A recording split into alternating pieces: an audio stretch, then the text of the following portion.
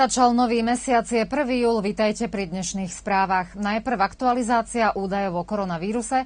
Za posledných 24 hodín bolo v našej krajine testovaných 8626 občanov, z čoho 272 vzoriek bolo pozitívnych. Za posledný deň zomreli 4 pacienti s touto diagnózou. Rada Európskej únie prijala odporúčanie na zrušenie dočasných cestovných obmedzení a tie sa týkajú 15 štátov, medzi nimi je aj Srbsko. Občania Srbska teda od dnes 1. júla môžu cestovať do krajín Európskej únie, avšak okrem Slovinska, Nemecka a Rakúska, ktoré sa rozhodli toto odporúčanie zatiaľ neakceptovať. Maďarsko otvorilo hranice pre Srbov a pri vstupe srbskí občania nepotrebujú žiadne testy ani špeciálne dokumenty, vyhlásil veľvyslanec Maďarska v Srbsku Attila Pinter. Európska únia vyhlásila, že hlavným kritériom na povolenie vstupu bol počet potvrdených nových prípadov infekcie COVID-19 za posledné dva týždne, konkrétne priemer novonakazených na 100 tisíc obyvateľov tej krajiny by mal byť lepší alebo podobný, ako je priemer v Európskej únii k 15. júnu. Ďalej konkretizovali, že tento zoznam sa bude aktualizovať každé dva týždne v súlade s najnovšími údajmi od epidemiológov epidemiológov.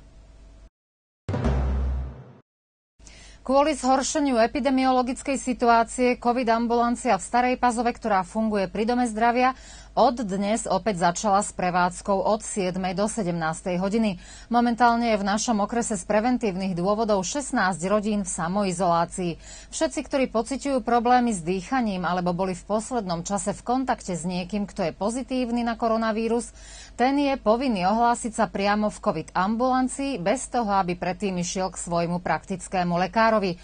Riaditeľka Domu zdravia v Starej Pazove doktorka Snežana Tabakovičová konkretizuje, že tak majú urobiť tí, ktorí majú symptómy tejto choroby, teda zvýšenú teplotu, kašeľ, stiažené dýchanie, bolesti svalov, malátnosť, prípadne aj bolesti hrdla. Podľa rád zodpovedných najlepšie by bolo zavolať na telefónne číslo 310 284 alebo 062 673 520, aby pacienti predišli dlhému čakaniu.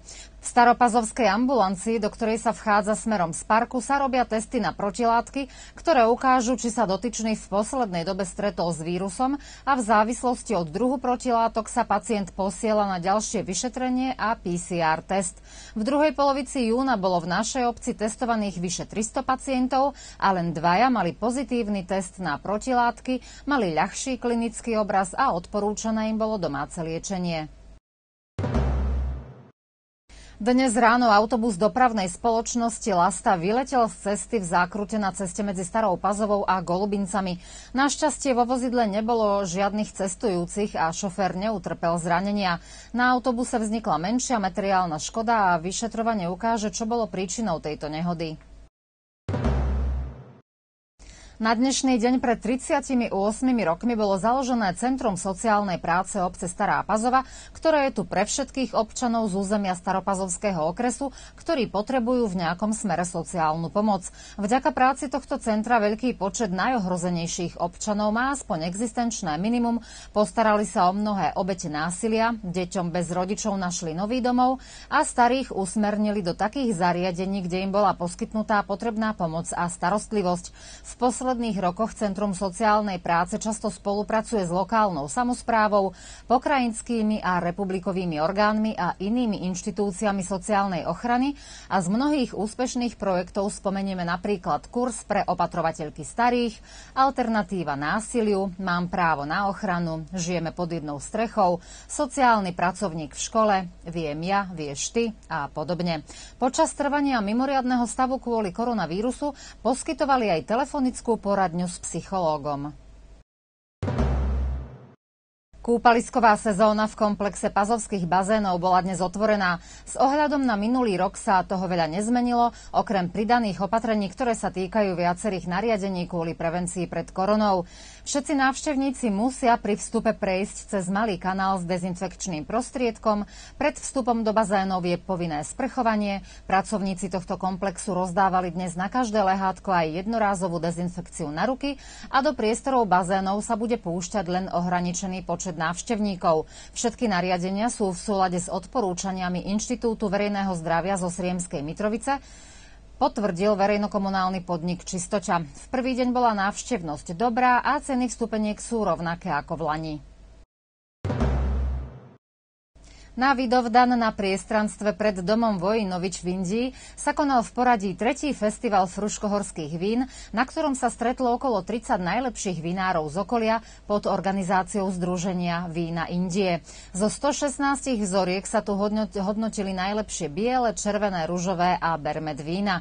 Vináreň Majorsky zo Starej Pazovy získala prvé miesto v kategórii bielých vín, za ružové vína si prvé miesto zaslúžila vináreň Komazec z Indie a v kategórii červených vín je víťazom vináreň Aven z Indie. Najlepší svetový tenista Novak Djokovic dnes na účet Všeobecnej nemocnice v Novom Pazari zaplatil 5 miliónov dinárov ako pomoc v boji proti koronavírusu. Majúc na zreteli ťažkú situáciu v tomto meste, Djokovic osobne kontaktoval vedenie nemocnice a ponúkol, aby nadácia Djokovic i hneď kúpila všetko, čo je nevyhnutné na liečbu nakazených koronavírusom. Riaditeľ domu zdravia v Novom Pazari Ervin Čorovič povedal, že financie budú využité na kúpu ochranných prostriedkov prostriedkov, liekov a medicínskych prístrojov a že je to pre nich obrovská pomoc, určite najväčšia, akú kedy nový pazár dostal. Djokovič, ktorý je sám nakazený koronavírusom, na začiatku pandémie daroval milión eur pre Srbsko na kúpu medicínskych potrieb a finančnú dotáciu poslal aj do Talianska, kde bola situácia najhoršia. Súťažiaci z karate klubu Front zo Starej Pazovy dosiahli pozoruhodné výsledky na majstrovstvách Srbska pre začiatočníkov pokročilých a nádeje v bojoch a katách, ktoré sa konali pred pár dňami v Čáčku. V katách bronzové medaily získali Milan Lazarevič a Strachyňa Borovnica v kategórii mužské nádeje a v bojoch si zlatú medailu zaslúžili ženské nádeje Ekatarína Saxová a Mia Crničová. Potom medzi mužskými nádejami získal zlato Zoran Božikovič a bronzovú medailu pionierka Teodora Kresojová. Toto bola prvá súťaž, ktorá sa konala po veľkej pauze zapríčinenej koronavírusom a pri realizácii sa dodržiavali všetky predpísané nariadenia, medzi inými aj bez prítomnosti rodičov a publika.